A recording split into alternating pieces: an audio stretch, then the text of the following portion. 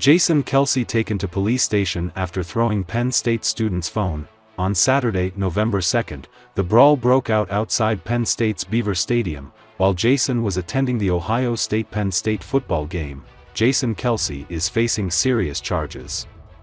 Jason Kelce's disorderly conduct and several counts of property damage have made the situation extremely serious. Travis Kelce is reportedly at the police station to bail out his brother Jason Kelce, however, the incident is not as simple as we think. Specifically, Jason Kelce smashed a Penn State football fan's phone after the troublemaker called his brother, Travis Kelce, a bad word. In the video, the retired Philadelphia Eagles star, who was outside Beaver Stadium in State College.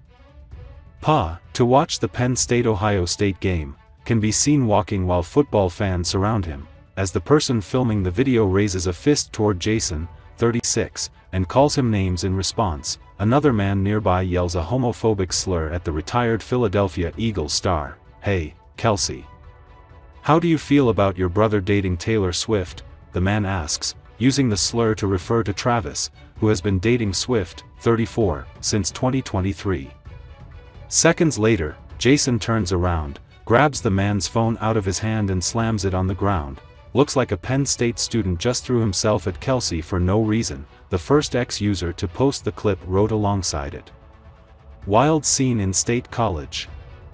Additional footage circulating on X shows a close-up of Jason smashing the phone on the asphalt, before picking it up and walking away. The phone's owner, who was wearing a Penn State hoodie at the time of the incident, can be seen in multiple clips walking close behind and appearing to be recording Jason before the fight breaks out. Another footage shared on X, apparently taken after Jason smashed the man's phone, shows the hooded Penn State fan walking through the crowd to pick up his phone from the ground. Give me your phone, man, he appears to tell Jason. The former NFL player who first grabbed the device then stands in front of the man and says, who the FK is that, as others appear to intervene. Security quickly arrived and took Jason Kelce and the hooded student back to headquarters for questioning. At the headquarters, a person in charge said that both of them shook hands and made peace.